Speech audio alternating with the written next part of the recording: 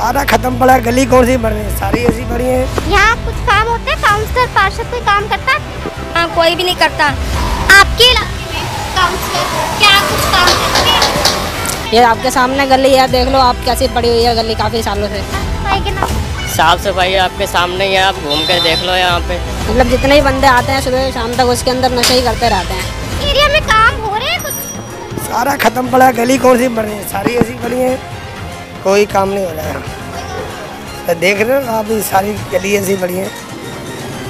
साफ़ सफ़ाई का ध्यान? साफ़ सफ़ाई तो सुबह होती है खैर। हाँ जी हाँ जी। कुछ गली तो? तो इसको हो गए कम से पाँच छः साल हो गए।